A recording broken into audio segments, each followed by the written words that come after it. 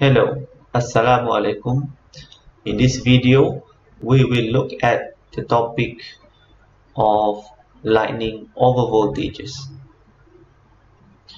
Insulation requirements are essential in HV system and equipment design. So in power system operation, during the operation, all insulations have to withstand First one is continuous system working voltages. So that is the operating uh, system voltage. 33 kV, 132 kV and so on. So that is the continuous system working voltages. And also um, the insulation must able to withstand over voltages. These over voltages due to switching and lightning for example so these voltages always have much higher magnitude or amplitude than working voltage and it vary rapidly with time very happens in very short time. So why do we need insulation? Why is it important? So insulation uh, is important because it it uh, for public and utility personal safety provide safety for the uh, public and even the personnel that working on the system. Um, also insulation uh, ensure that the current flows only along the conductor. There's no if for for good insulation there will no very very little leakage current okay? Um, also insulation uh, is required to prevent damage to the equipment due to high voltages. Uh, in particular, prevent or reduce permanent damage to the high voltage equipment. So, uh, one of the reason we need the insulation is to protect equipment due to uh, high voltage and even over voltages.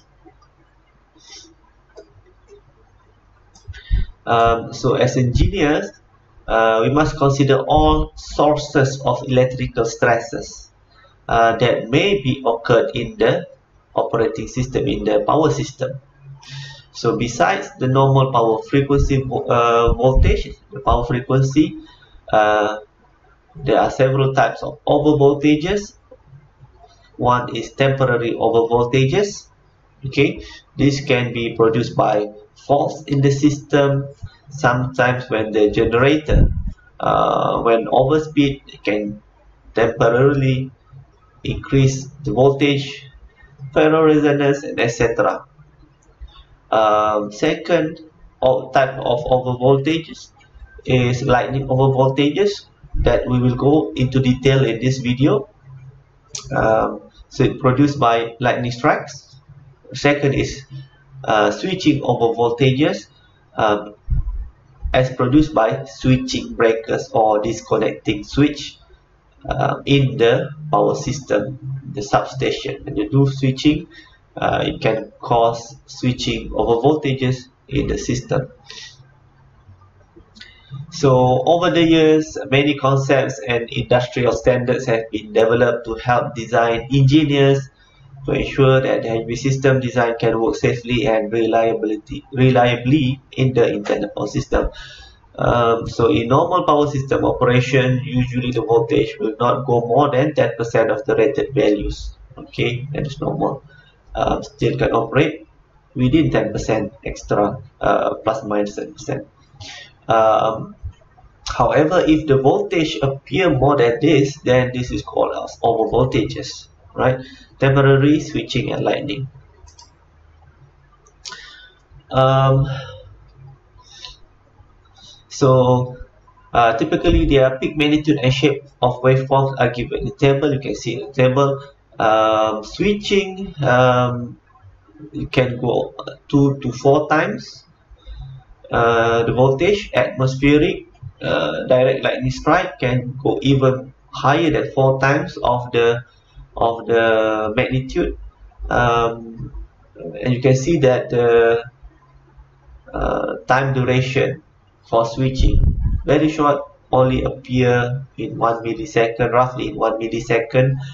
Um, for lightning strike uh, appear in the system at very very short time 1 to 10 microsecond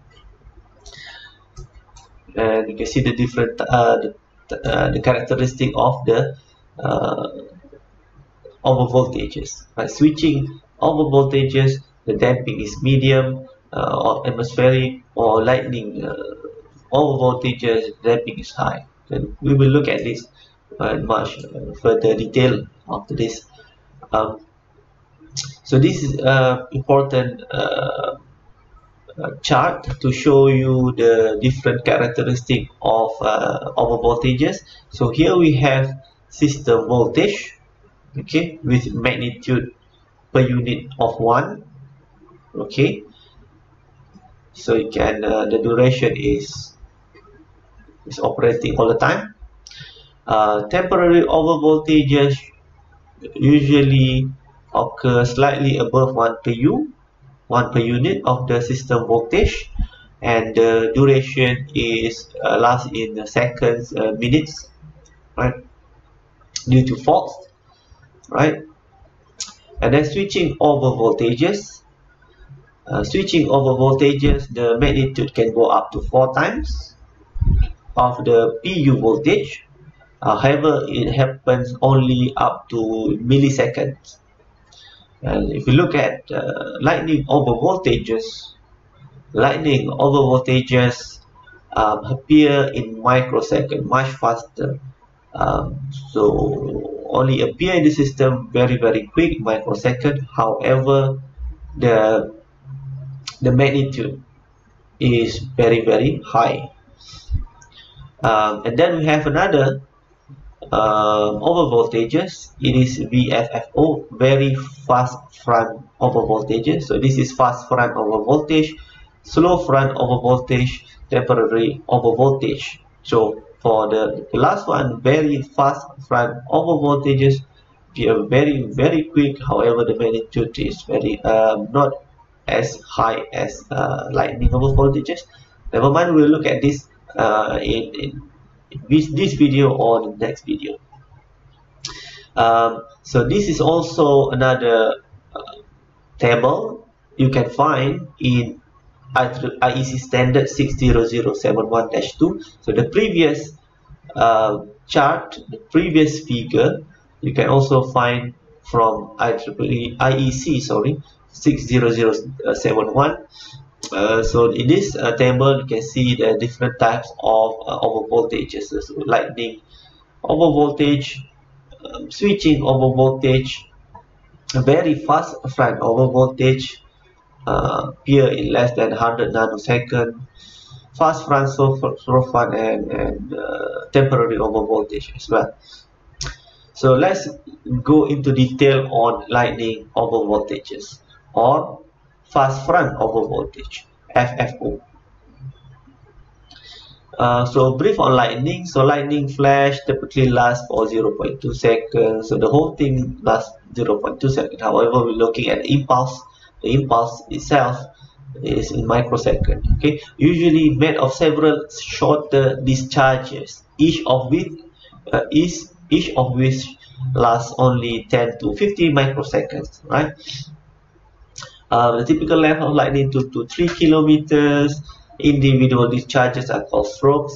Uh, most visible when return stroke occurs. Okay, you can see in the figure uh, when uh, the the continuous leader reach the ground and then there's a return arc. So this is usually uh, visible to our eyes. Most visible when return stroke occurs. Right lightning bolt can carry potential difference of more than 1000 kilovolt more than 100,000 amps with more than 20 gigajoule of energy. So lightning is a uh, lightning is a result of a storm natural phenomenon. Lightning results in surges in uh, electrical power system. So the lightning can cause surges in electrical power system. Um, so the surges arise from the lightning strike to or near overhead conductors or overhead transmission line, right? Also known as FFO, um, classified as external over voltages as they are generated by source externally. Okay, so we have external over voltage. We also have internal over voltage. so external uh, because it's generated by external sources. Internal overvoltages is uh, when there's overvoltages generated from the internal of the power system network. Um, so lightning impulse important for uh, the study of lightning impulse is important for insulation coordination design. Uh, system voltages um, below 300 kilovolt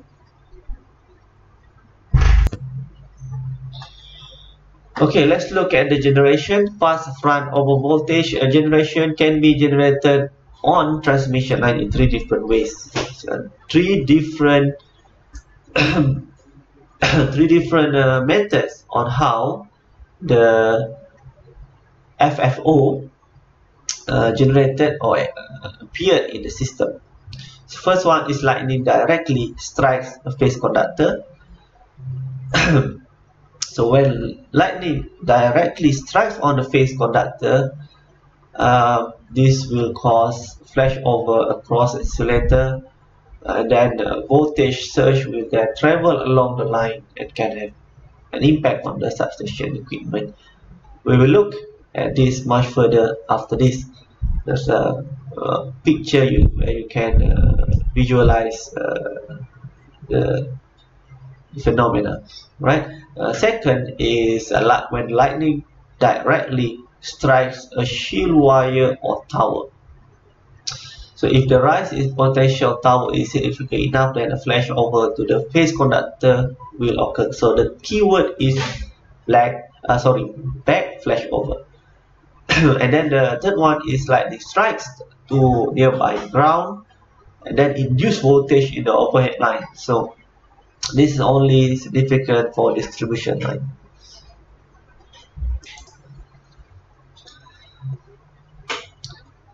okay um, so um, this classified this may be classified as a direct strokes when uh, when a thunder cloud directly discharges onto a transmission line tower or line. So this is the most severe condition but it is rare um, direct strike happens when wire not well shielded. Okay you can see here.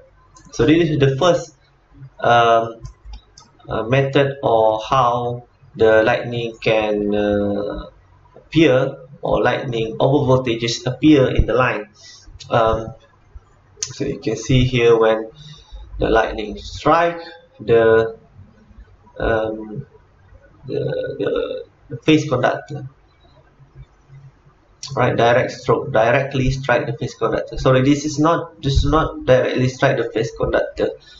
Um, so this this is this is first one. When the lightning directly strike the phase conductor this is the phase conductor right? This the top one is a shield wire. Okay shield wire. Um, to shield the phase conductor. So the shield wire on top is purposely installed to protect the, the, the phase conductor right? So it is meant to uh, receive the lightning strike so that it will go uh, it will direct the surge to the ground. All right but however if there is shielding shielding failure right shielding failure to the um, shield wire then the lightning will directly strike the phase conductor. So this this is the first one. Right direct strokes. When the thunder cloud directly discharge onto a transmission line lines. All right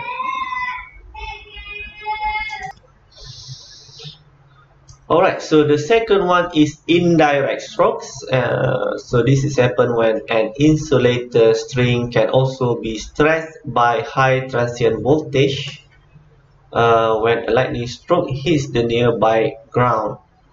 Alright, so the keyword here is lightning stroke hits the nearby ground. So lightning stroke hit the nearby ground, however, it can induce induce um, voltages over voltages in the phase conductor. As you can see the picture here the lightning strike uh, the ground however can induce because the um, the, the voltage is so high um, it can induce voltages to the nearby um, conductor right even to the shield wire and phase conductor as well. And then the third one is um, called black uh, sorry back flashover so back flashover if happens when a direct strike to to a tower occurs alright? So the tower is grounded the shield wire is also grounded. So when the lightning strike the tower um, the tower will have to carry large impulse current right? Um, but if the footing the tower footing resistance is high then the potential of the tower rises and then this can cause insulators to backflash over. So this is uh, what happens uh, when uh, back back flash over occurs. As you can see here the top of the tower has shield wire right? So the lightning strike the tower or the shield wire uh, supposed to go straight to the ground. However because of the resistance of the tower is high can cause uh, large potential to the uh, to the tower and then can cause the flashover occurs across the insulator so that the surge will jump into the phase conductor. Um, so this is the third one back flashover right? You can see here the lightning strike the tower and then this tower footing resistance however because the, if the resistance is high it can cause flashover occurs across the insulator we go into the can jump or go into the phase conductor as well. Alright? So this is the second one induced or indirect stroke so the lightning strike the, uh, the, the, the tree or anything nearby not directly to the tower or the, to the first uh, phase conductor. However it can induce voltages in the system as well.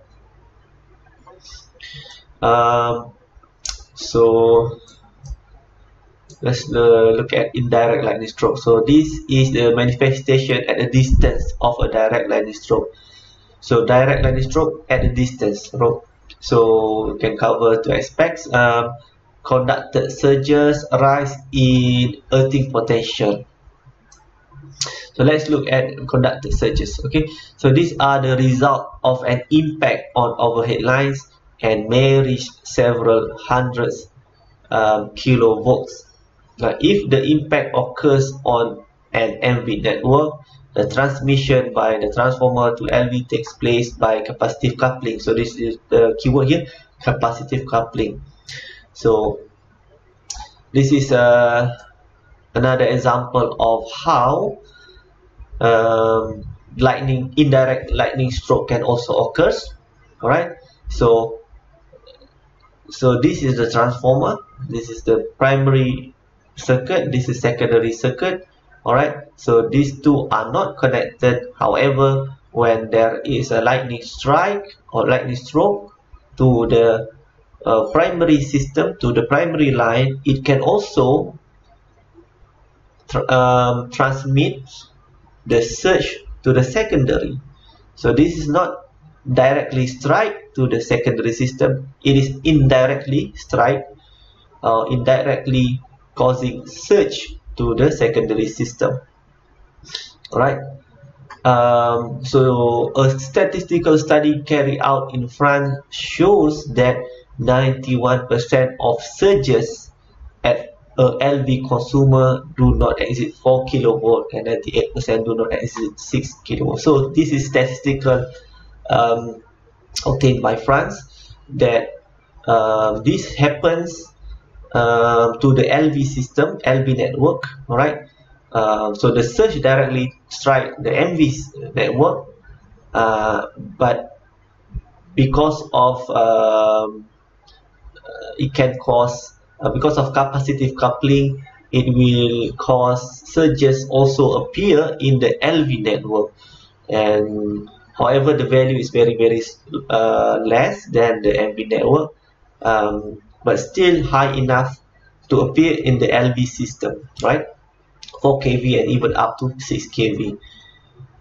And the second one, um, uh, second example of indirect lightning stroke, uh, as we have discussed uh, previously, arise in earthing potential occurs when the lightning current flows off through the ground. So this variation in earthing potential affects installation near the lightning strikes, uh, the ground near the earthing connection. So naturally research also depends on the ground resistivity. So important to have good or low ground resistivity in the in the uh, installation in the substation. Um, this often accounts for the phenomenon of animals that are indirectly struck by lightning. Indirectly struck by lightning, even 100 meters away from the point of impact. Alright, uh, a horse in a meadow or in a field may receive a difference of in potential of 500 volt between between the between the legs. Alright, so you can see here uh, example when uh, lightning strike uh, the tree and then at this point this is the magnitude of the surge.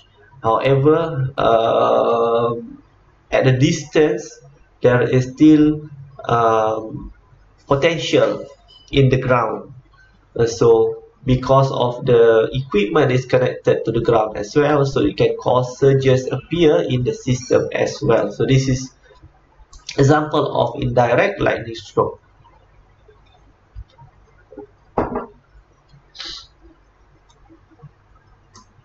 All right the third one. All right the third one um, the first one is direct lightning stroke. Uh, when the lightning directly strike the phase conductor due to failure in the shielding wire right? Shielding failure. The second is indirect stroke and we have two example here of indirect um, stroke. And then the third one is black uh, sorry uh, mistaking the, the, the term back flash over. Okay flash over appear from ground to phase conductor. As a reverse basically. Um, so if lightning strikes the top tower shield of shield wire voltages are built up across the tower top and if these voltages equal or exceed the line standard atmospheric condition or critical flashover uh, of the system. Flashover occurs from the tower to the phase conductor. You can see here lightning strike the shield wire alright supposedly go to the ground alright. You can see the surge travel to the heading towards the ground. Um, however if the design is uh, design is uh, less design of the insulator is less than the requirement or if or the footing resistance is high it can cause back flash over. It will jump from the tower to a uh, uh, flash over will occur across the insulator and jump into the phase conductor. So when back flash over occurs a part of the surge current will flow to the phase conductor through the arc or through the flash across the insulator string. Alright. It's called a shielding failure for may shield wire. So this is uh, sorry this is not under back flashover this is for the first case right? Directly light uh, strike the directly strike the phase conductor. So this is not uh, back flashover for an unshielded line insulator flashover is caused by backflash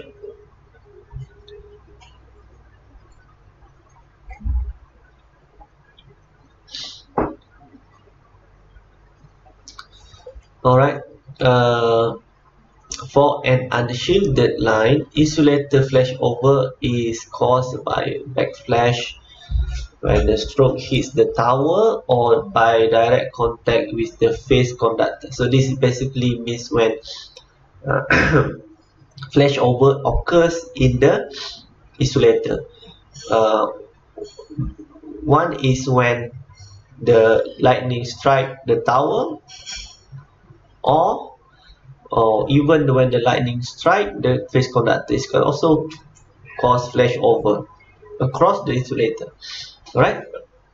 You can see here lightning strike the tower uh, sorry lightning strike the conductor and then it cause flashover to the to the tower. And this one when the lightning strike the shield wire it will cause also flash over to the phase conductor but this case is called back flash over because from the ground going back to the phase conductor this is flash over going from the phase conductor to the ground so this is flash over when it happens across the insulator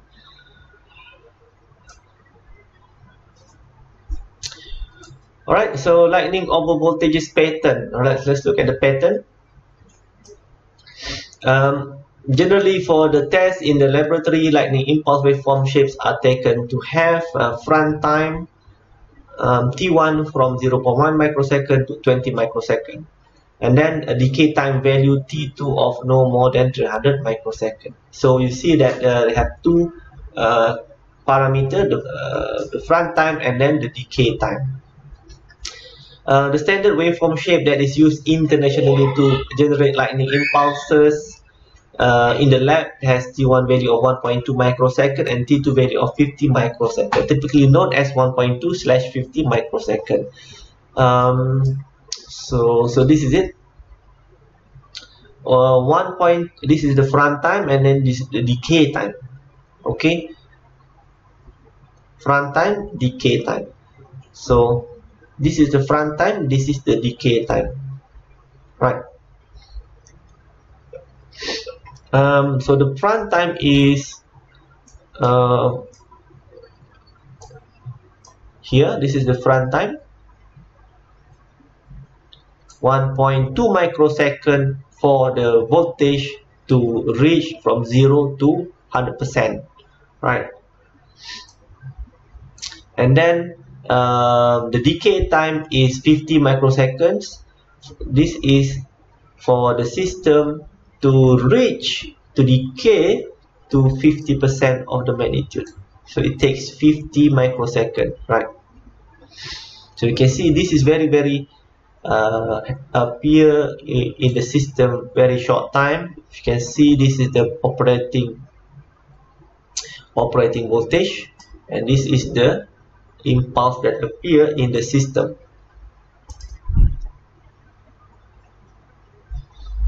Alright, so typically known as 1.2-50. Front time uh, 1.2-50. Front time and decay time. Um, I think in the previous slide, uh, I did not, uh, I don't think you can see the cursor here. I have cursor here uh, but since that I need to click on the mouse for the cursor to appear on your video uh, so previously I did not press on the cursor you did so you did not see the the cursor on your video okay um, um, so FFO are higher magnitude than the other uh, types. So you have seen the, the chart before, the figure before. Alright, most surges are generated by negative polarity downward lightning flashes. Um, in contrast, positive strikes generally have a long front time waveform, five time longer. However, uh, these are uh, not usually happens right most uh, you can only most of the time you will uh, appear negative polarity downward lightning flashes right um, so as you can see this is from the table of IEC 60071-2 this is the lightning impulse test the the typical or the standard shape or pattern of the lightning impulse or the fast front over voltages. Um, T1 1.2 microseconds and then t2 the decay time from 0 to here takes 50 microseconds. 50 microseconds for it to increase and decay reaching 50 percent. Alright? End of session. Thank you very much